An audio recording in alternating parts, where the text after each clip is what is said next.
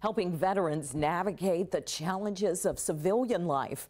Governor Cooper sat down with local leaders in Jacksonville today for a roundtable discussion.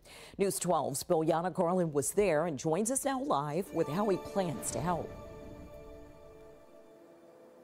Governor Cooper joined with about 10 other veterans here at the NC Works Career Center.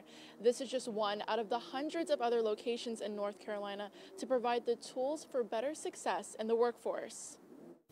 What we want to talk about today is ways that we can help our veterans.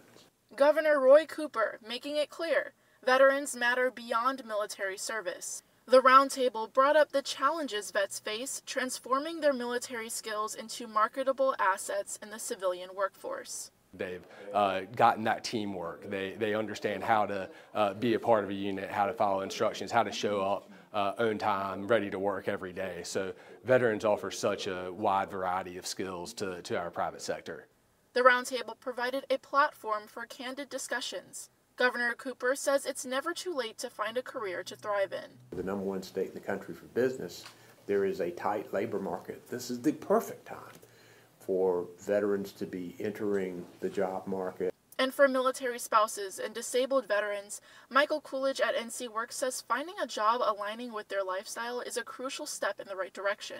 Um, oftentimes we have clients come in that are dead set on going down one career path and we can work these instruments with them and determine, hey, you know, you may actually be a better fit for this kind of career. Veteran Timothy Baker talked about the fear of military members not being able to fit in at a civilian workplace. You still have a chain of command in the civilian world that you have to report to. You still have projects that need to be done.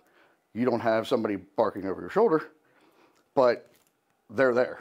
Staff at NC Works has a first in talent plan to extend employment resources to veterans across the state.